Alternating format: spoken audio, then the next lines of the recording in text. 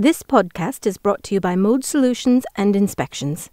You can find us online at biowashing.com. Asthma Triggers Part 8. In this episode, we will discuss chemical irritants. Chemical irritants are found in some products in your house and may trigger asthma.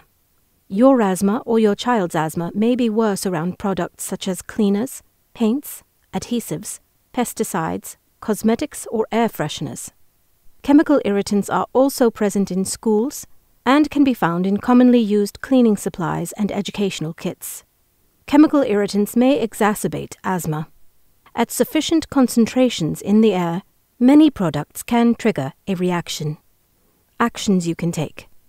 If you find that your asthma or your child's asthma gets worse when you use a certain product, consider trying different products.